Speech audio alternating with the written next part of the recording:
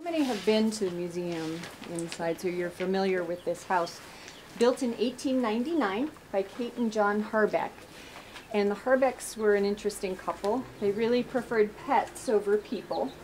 Um, but they did come here to vacation in Boulder for 10 summers. So 1899 and then for 10 summers they were here in Boulder.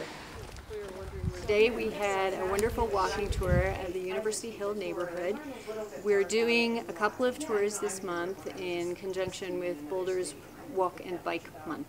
University Hill is one of Boulder's most architecturally diverse neighborhoods, so we saw a variety of styles of house, housing. Um, there are really great examples of craftsman style bungalows because most of the houses were built in the teens, 20s, and 30s. I like the Norlin House actually because uh, that has a lot of history connected with the university and it's a beautiful, beautiful house.